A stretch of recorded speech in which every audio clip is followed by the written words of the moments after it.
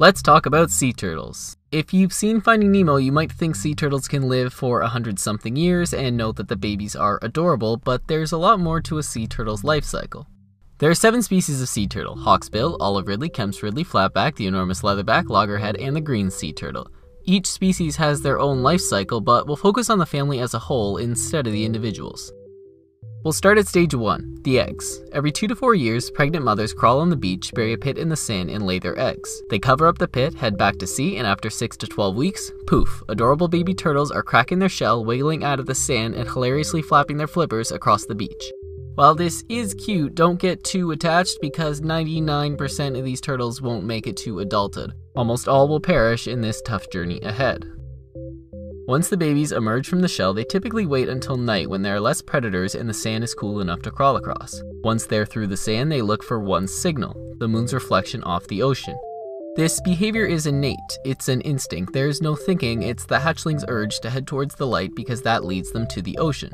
If you've seen a sign warning you about streetlights being turned off near the beach, it's because there's a sea turtle spawning site nearby.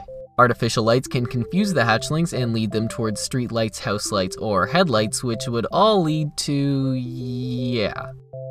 The lucky ones who aren't fooled crawl as quickly as they can to sea, hoping raccoons, crabs, and birds don't gobble them up for an easy snack. They're in the ocean. Great, right? Well, not exactly. It's not like the ocean is that safe either. The moment the hatchling touches the water, it begins the frenzy period. What's the frenzy? 24 hours of straight swimming.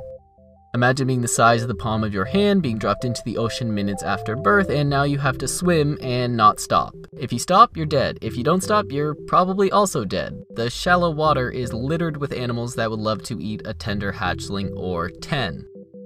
So, now what?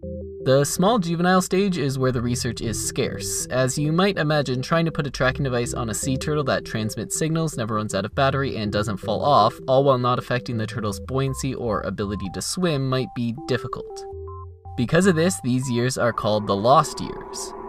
But with technology getting better, these years are becoming more known. It's clear that the turtles use currents. It was first thought to be passive migration, unintentionally following the currents, but more evidence is showing sea turtles actively orient themselves and swim. The best research suggests sea turtles detect the Earth's magnetic field and use it as a compass, a really, really accurate one to navigate the oceans. While the complexity of this goes beyond the scope of this video, it's important to understand sea turtles have a sense we don't have called magnetoception, and this sense becomes very important for turtles later in life. Until then, once turtles grow to be large juveniles, they head to their feeding grounds in coastal waters. These can be over 10,000 kilometers away from their home beach. In the feeding grounds, turtles grow to be sub-adults, and once they're ready to mate, they're mature adults, and it's time to start migrating back to the nesting sites. During the migration, a male will mate with as many females as possible to pass on as much of his DNA as he can, while a female will store as much sperm as she can because more fertilized eggs means more offspring, which means more survivors. After mating, males travel back to the feeding grounds while females continue to the beach. At the beach, the females lay their eggs and we're back at stage 1. The soon to be mothers travel back to the feeding grounds until the next mating season. But what's interesting is that the mothers usually lay their eggs on the exact same beach where they were born. This is natal homing, and how it works isn't fully understood. The best explanation is geomagnetic imprinting, when they're born, hatchlings imprint on the magnetic field of the Earth and use this unique signature to guide them home decades later. But why?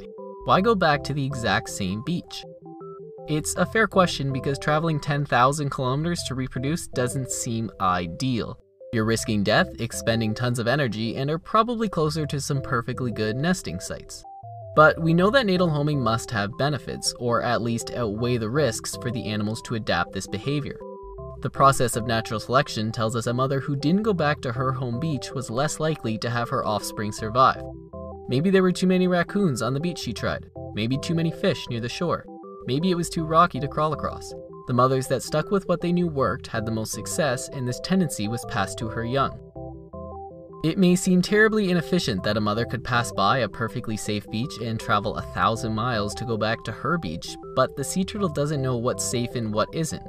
All that's hardwired into its DNA is to go to its home beach and the offspring have a better chance of surviving. That's the great thing about evolution. If an animal's been around for a quarter billion years, it probably knows what it's doing.